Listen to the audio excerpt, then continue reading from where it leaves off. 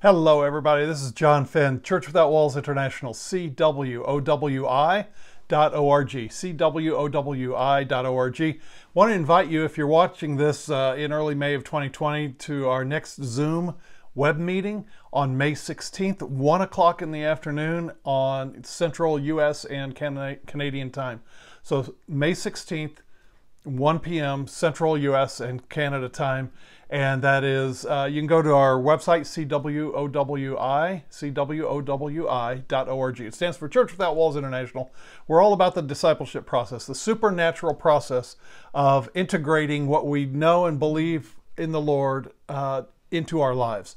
And today talking you don't have to be a doormat now i've covered this before probably a couple years ago but we've got a lot of new uh, viewers and everything and it really was on my heart that this is specifically for today. So this may be you, and you need to know you're not a doormat. You should not be a doormat. Um, a, lot of it's a misunderstanding through religion, perhaps well intentioned, but still religion. And it's not understanding the context and the history of Matthew chapter 5, uh, part of the Sermon on the Mount, where Jesus said, uh, if someone smites you on one cheek or hits you on one cheek, turn to him the other also. Someone wants to take your coat, give him the other also. Someone compels you to walk one mile, then walk with them too.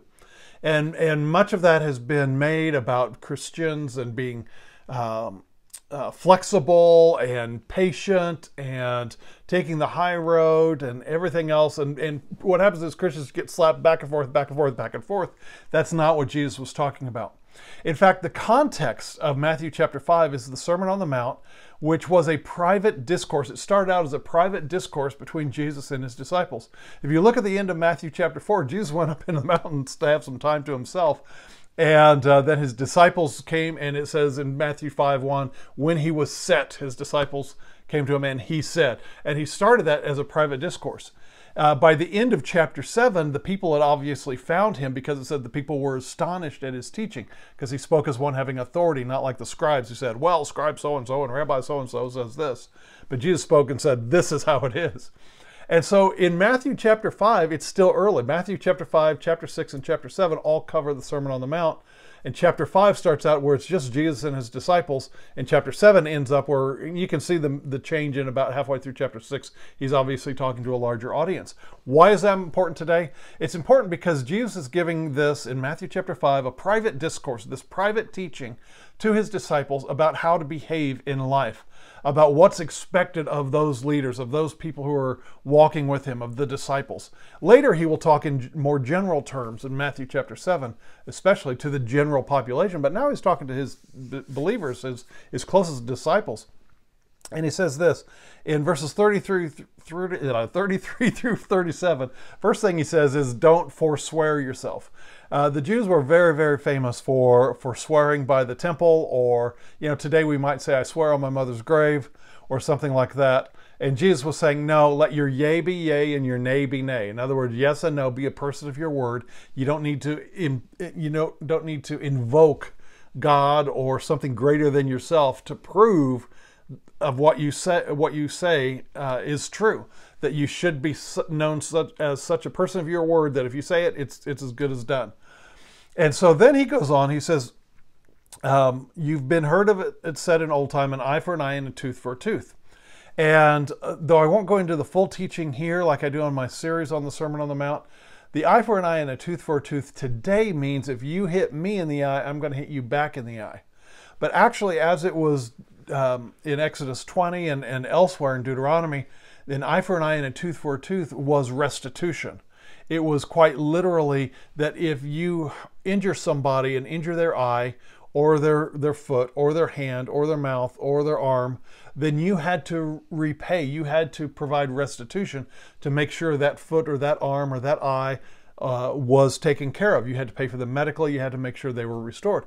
And so, an eye for an eye and a tooth for a tooth in original setting in Scripture was restitution. That if I injure you, I'm going to make sure that it's right.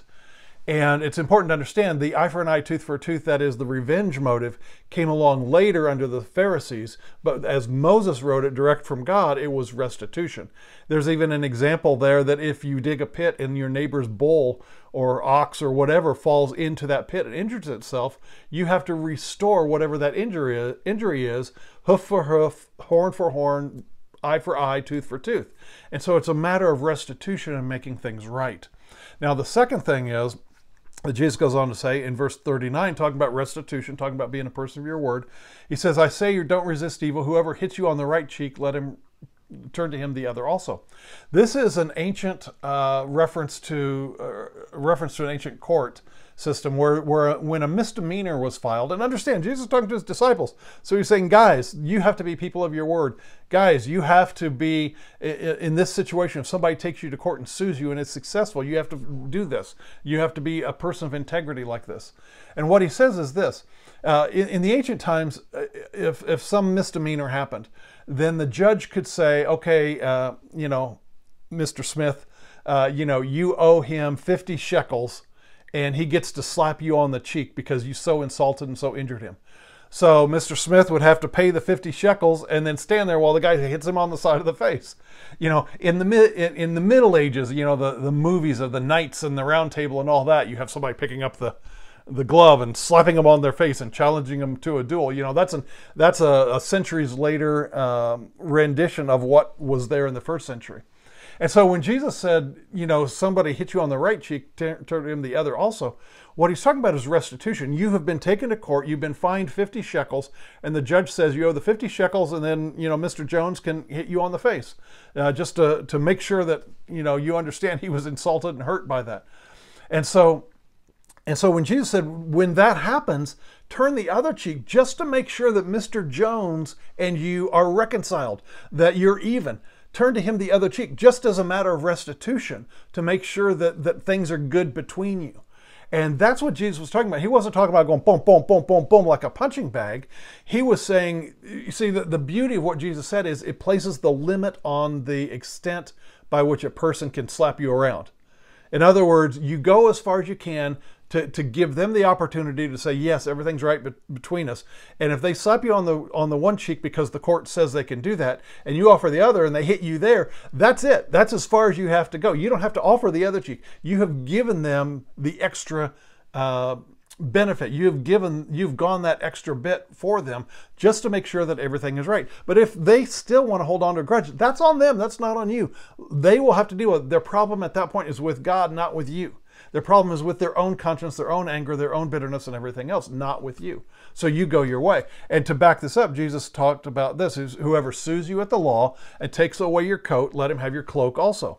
Again, this is the same thing. A judge could say, hey, uh, you know, you stole this or you took this, and so I'm I'm saying, okay, uh, you owe them your the coat. That's the value. That's the three hundred dollar value that you stole. You don't have that three hundred dollars.